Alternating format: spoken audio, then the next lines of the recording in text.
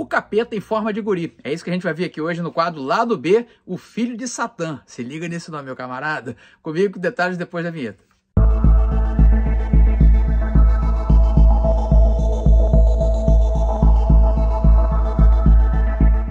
Fala aí, meus camaradas, eu sou o Gico, você está no canal Gico HQ, o canal mais nostálgico quando o assunto são ó, os quadrinhos aqui do YouTube. E hoje, o quadro Lado B, aquele quadro a gente pega, pincela aqui da coleção, personagens bizarros, fora da curva, que dificilmente vão ganhar um filme no cinema. É o caso do Filho de Satã, que saiu aqui, ó, nesse gibizinho do Capitão América, um personagem criado pelo Mike Friedrich. Ele saiu, é, a, a princípio, como um personagem coadjuvante das histórias do Motoqueiro Fantasma. Então a gente vai ver aqui histórias do Motoqueiro Fantasma que apresentam, fazem a introdução desse personagem bizarro, mas muito maneiro, chamado Filho de Satã. Então fica aqui também um aviso de gatilho. Se você tem medo desse tema, apesar disso aqui ter saído no gibi do Capitão América, né? Era um gibi de criança, gibi formatinho.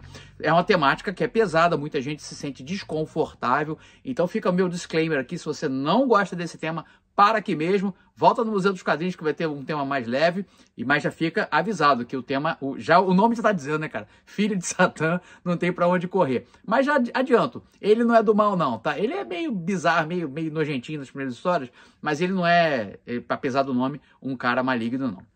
Antes da gente falar das histórias, vem aqui a, a, mensagem do nosso patrocinador do meu curso de desenho, Desenhando Heróis. Se você gosta de desenhar nesse estilo de super-heróis, como o Capitão América, o próprio Filho de Satã, que tem uma pegada de terror, ou o Motoqueiro Fantasma, então vem desenhar comigo no curso Desenhando Heróis. Na descrição do vídeo tem um link onde está tudo muito bem explicadinho. Você pega as informações, se tiver alguma dúvida, pode me mandar um WhatsApp e de lá mesmo já pode fazer sua inscrição e começar a desenhar imediatamente. A liberação de todo o conteúdo do curso, e é bastante conteúdo, fica disponível para você a partir da aprovação da compra. E você tem dois anos para acessar todo esse conteúdo quantas vezes quiser. Vem desenhar comigo, eu estou te esperando. Bom, dadas as mensagens do nosso patrocinador, que sou eu mesmo, afinal de contas, isso aqui é uma forma também de divulgar o meu trabalho como desenhista, como quadrinista e como professor de desenho. Agora sim, vamos adentrar no nosso lado B de hoje. Bom, como eu falei, o Motoqueiro Fantasma é, é, introduz né, esse personagem, o filho de Satã. Aliás, outros personagens bizarros foram apresentados aqui. E fica aquela curiosidade, né? Quem é o diabo na, no universo Marvel? É o Mephisto? É o Satã mesmo, como aqui está determinado? Eu nunca tive é, clareza exatamente de quem é a força maligna superior é, relacionada ao universo do, do catolicismo, ao, ao, ao universo, à mitologia cristã qual seria verdadeiramente o diabo do universo Marvel? Eu acho que é mais pro Mephisto, né? Não sei. Quem sabe souber a resposta, coloca aí. É, mas aqui a gente vai ver o Satã mesmo, coisa ruim, é, o Sete Pele, o Mochila de Criança, é ele que é o personagem principal aqui do, né, o filho de Satã, é filho desse Satã católico, da mitologia cristã.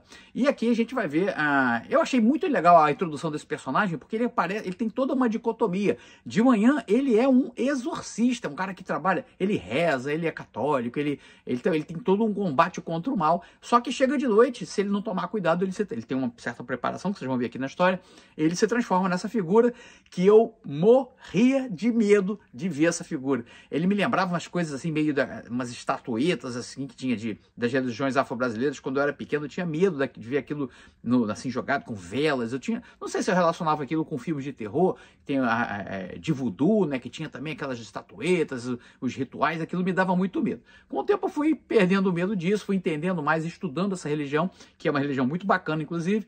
E aí a gente foi, é, acaba desmitificando aquilo. Mas quando eu era guri, cara, eu me pelava de medo. Já contei essa história aqui, que meu pai me deu de presente quando é, eu vim morar em Araroma. Ele ainda estava em Niterói e trazia algumas revistas é, de Niterói para mim. E dentro de Tarzan e Fantasma e Capitão América e Homem-Aranha veio o Motoqueiro Fantasma número 1.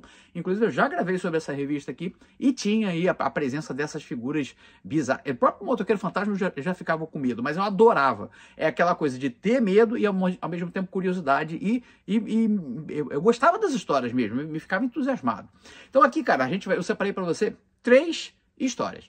A primeira história do motoqueiro fantasma é número 1, um, número 2 e número 3.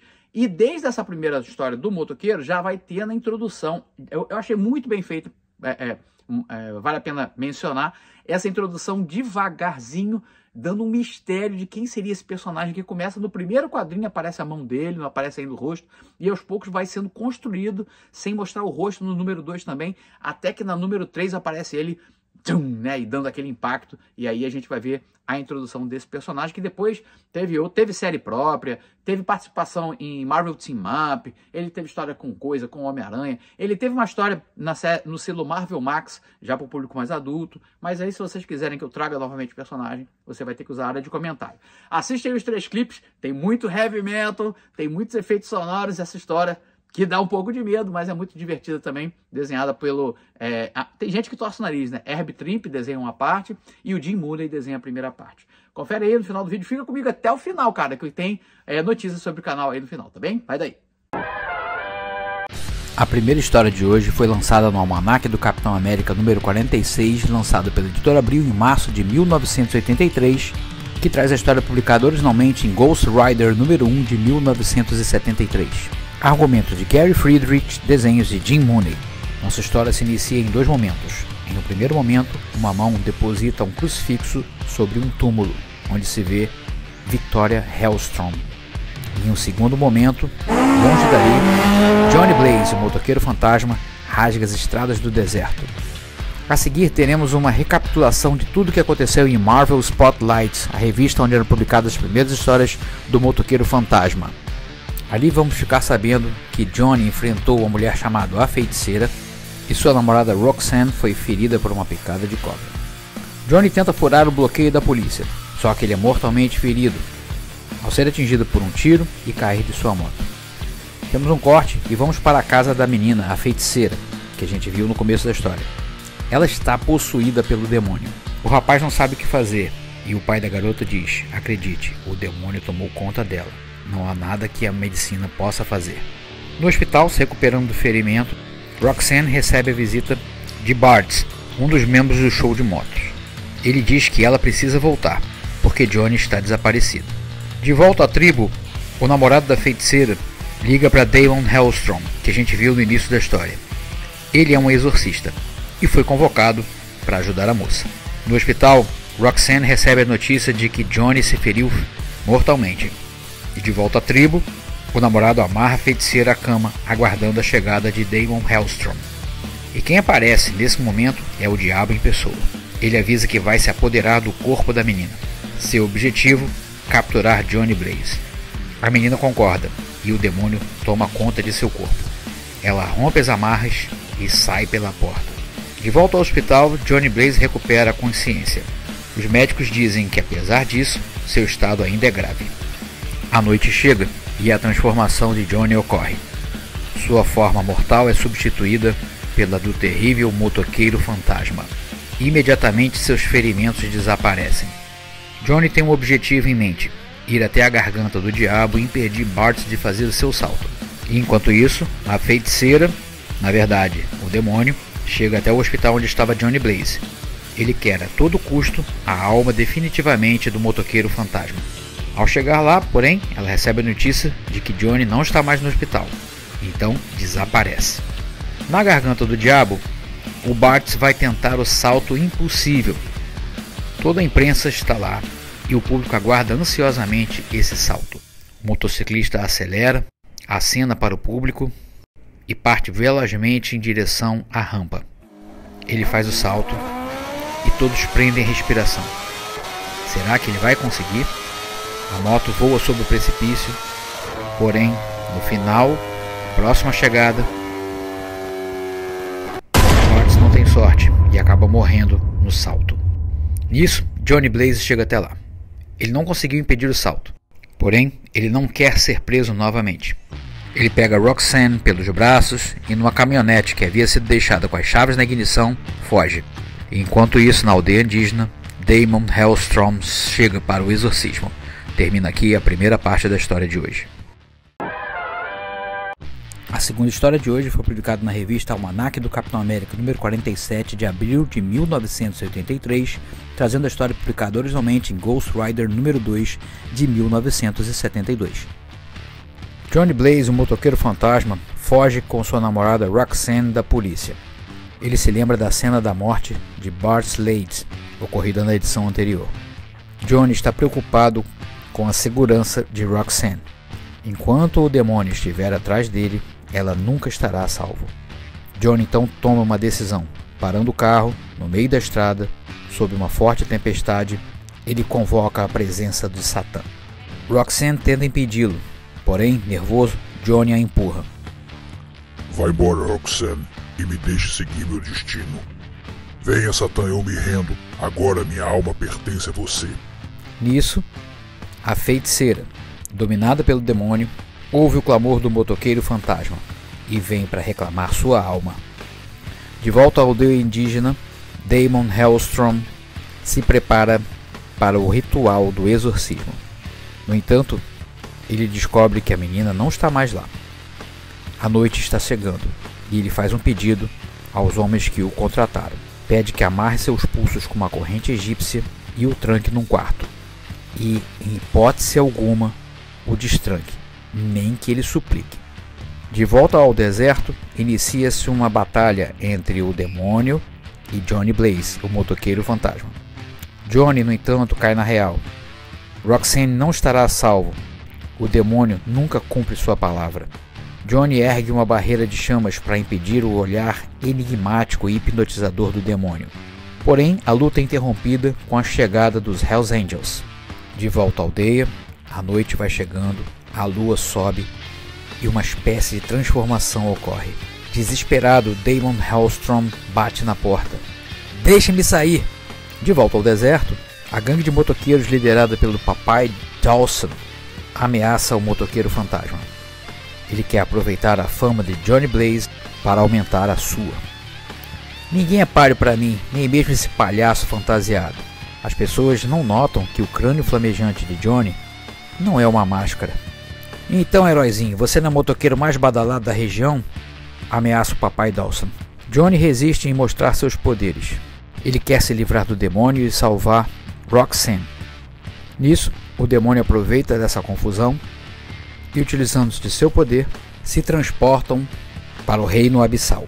Papai Dawson então se aproveita da oportunidade para cercear Roxanne. E de volta à cabana, o namorado da feiticeira atende aos apelos de Damon Hellstrom.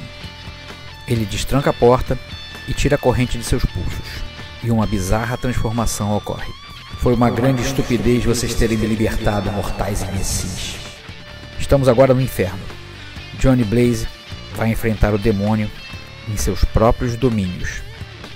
O demônio quer a alma de Johnny, porém seu amor por Roxanne impede que o Senhor das Trevas a tome à força. A mulher então, no estalar de dedos, abandona a forma mortal da feiticeira, encarnando a própria forma demoníaca do diabo. Satã relembra o primeiro confronto que teve com Johnny no inferno, quando foi auxiliado por seu padrasto, Crash Simpson. Foi por causa de Crash que Johnny se transformou no motoqueiro fantasma. Porém, devido a artimanhas do diabo, Crash acabou se tornando um servo de Satã e lutando contra Johnny no inferno em busca de sua alma. Nos momentos finais, no entanto, Crash se arrepende, liberta Johnny de sua armadilha e acaba morrendo. De volta ao presente, vemos que o diabo amarrou Johnny e convoca uma espada flamejante para perfurar o seu peito. Dessa forma, ele se transformará em seu servo para sempre. Porém, uma voz irrompe: Pare, Satã! Antes que destrua mais uma alma, você terá que me ouvir. Termina aqui a segunda parte da história. A conclusão da história de hoje foi publicada na revista Almanac do Capitão América número 48, lançado pela editora Abril em maio de 1983 e que traz a história publicada originalmente em Ghost Rider número 3 de 1972. Argumento de Gary Friedrich, desenho de Herb Trimp. Ao ser libertado das algemas e solto de seu quarto, que aprisionava, Damon Hellstrom assume sua verdadeira forma, o filho de Satã. Ele relata sua sina. Há muito tempo que me sinto dominado por duas forças. Durante o dia, sou o tolo religioso Damon Hellstrom, inimigo mortal das forças satânicas. Mas à noite, o sangue do demônio que corre nas minhas veias se apodera do meu corpo, dando lugar ao que realmente sou, o filho de Satã. Ele então exige a localização da menina, a qual seu alter ego veio exorcizar. Mostrando todo o seu poder, ele garante aos homens que nenhum mal acontecerá com a menina. Não estou interessado nela, mas sim naquele que se apoderou de sua alma, Satã. O jovem então relata tudo o que aconteceu com a menina, desde o momento de sua possessão, a convocação de Damon e seu desaparecimento da cabana. Determinado a encontrar seu pai, ele convoca seu meio de transporte.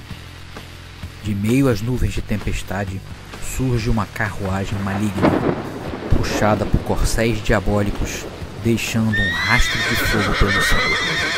Venham-me, fiéis corcéis, somente vocês poderão me levar ao destino que desejo alcançar.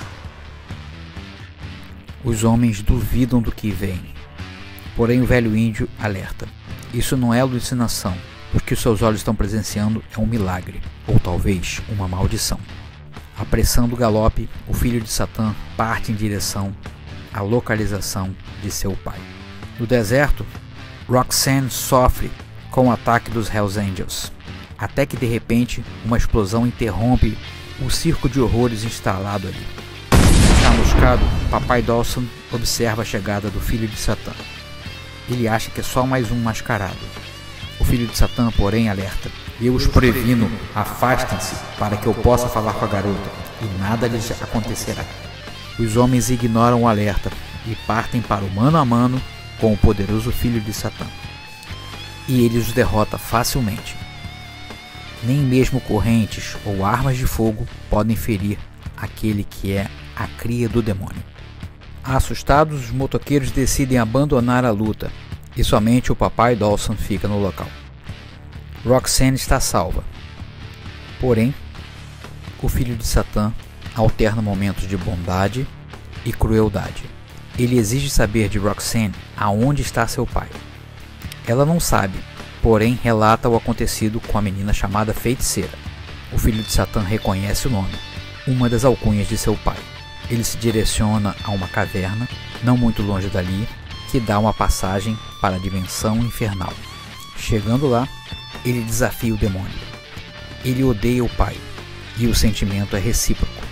Ele faz troça do diabo, dizendo que ele está velho Satã então convoca seus demônios para atacarem seu filho.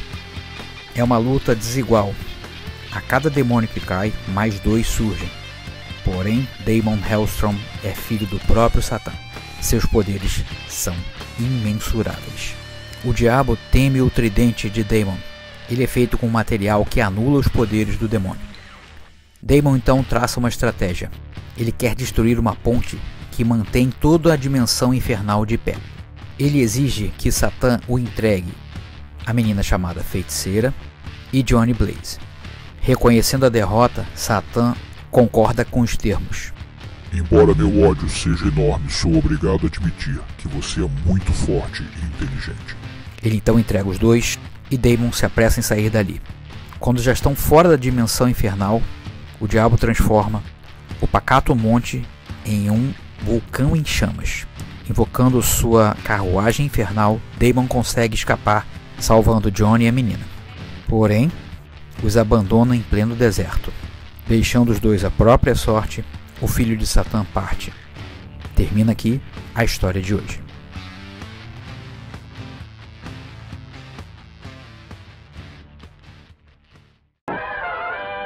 E aí, o que, que, você achou do lado B de hoje? Curtiu as histórias? Bom, comenta aí o que, que, você achou. O que mais você quer ver aqui no lado B? Que personagens você lembra que são lado B? Ah, eu lembrei de um agora ali, o, nome, o dele ali, o Desafiador, hein? Eu adoro esse personagem, tem boas histórias. É, o Vingador Fantasma também, a gente já falou aqui, é, da, dessa, a DC Comics tem muito personagem do lado B, o Etrigan já falei aqui também. Então, comenta aí o que, que você quer ver mais aqui no lado B. Tem que ser essa pegada estranha, uma coisa assim, sabe, fora do, do, do padrão de super-herói. Tem que ser uma coisa bizarra tá bom? Comenta e eu vou fazer a pesquisa, se eu tiver, eu trago para vocês. É, tô de volta no domingo aqui no Museu dos Quadrinhos e a gente foi, fez lá na comunidade do canal uma enquete qual vídeo que a galera preferia ver. Aí eu coloquei o tema foi super duplas.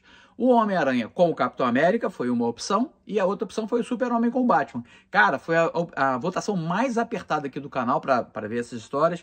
E o Capitão, América, Capitão América e o Homem-Aranha ganhou essa revistinha aqui do Capitão América, uma história em duas partes, então vai ser o Museu dos Quadrinhos mais curtinho esse domingo.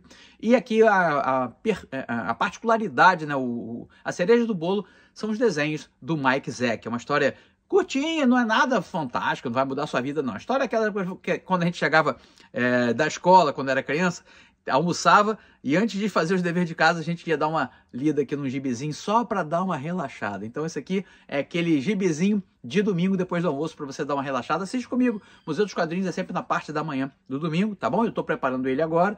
E como foi uma votação muito apertada, a outra história vai vir no domingo que vem para agradar todo mundo. E outra história bem legal também é Super-Homem Batman desenhado pelo é Arthur Adams, cara, cereja do bolo.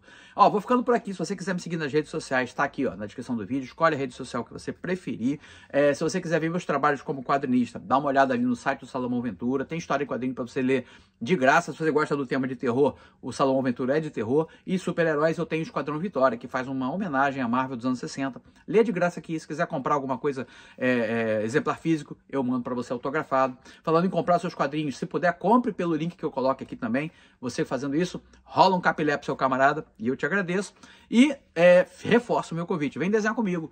Aproveita que hoje, sexta-feira, acabou, sextou, né? Que tal começar um novo hábito ou retomar o hábito que você tinha, que é desenhar. Não importa se você tem cabelo branco como eu, não. Importa se você gosta de desenhar. Se você gosta, tá no lugar certo. Tchau, gente. Até domingo.